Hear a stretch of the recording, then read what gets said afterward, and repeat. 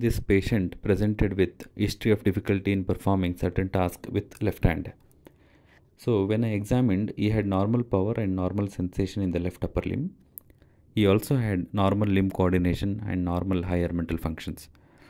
But when I asked him to do certain tasks like picking up a coin with two fingers, he did it perfectly with the right hand, but he could not do it with the left hand. He was struggling a lot as you can see in this video.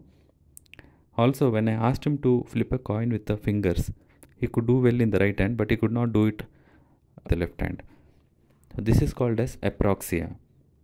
Apraxia means inability to carry out learned skilled movements in the presence of normal motor, sensory and coordination. So here the patient is able to understand the commands. He has got a good normal power as you can see. I'm trying to break the opposition of the fingers.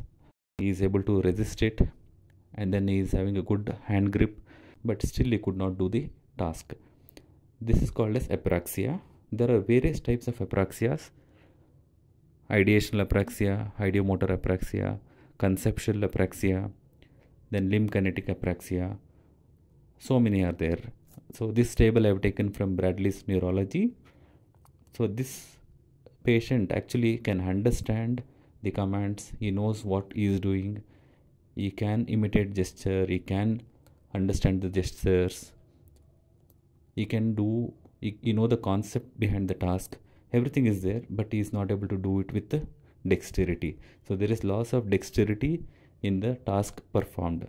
This is known as limb kinetic apraxia. This patient actually had a parietal lobe infarction on the right side and classically these apraxias are seen with the parietal lobe lesions. Thank you.